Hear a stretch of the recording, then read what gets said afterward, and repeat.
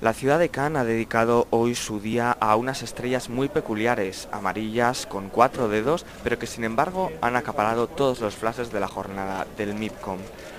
Para celebrar los 20 años de exitosa emisión, su creador Matt Groening acudió a Cannes, donde recibió de manos del alcalde una medalla de oro, la llave de la ciudad amarilla y por supuesto cortó una cinta de oro.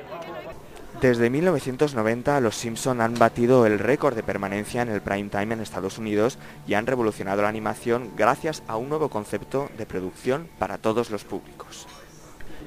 Hay bromas en el programa para que los más pequeños se puedan reír con los personajes de Bart, Lisa y los otros niños.